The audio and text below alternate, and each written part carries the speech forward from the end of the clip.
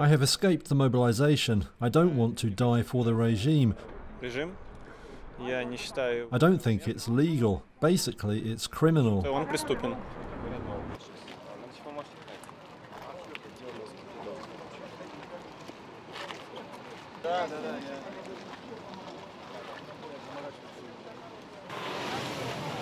We're handing out free humanitarian aid to people who are exhausted from the last few days traveling from Russia to Georgia through the Russian republics of Kabardino-Balkaria, North Ossetia.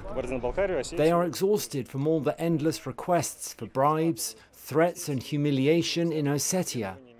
We understand the Ossetian customs completely.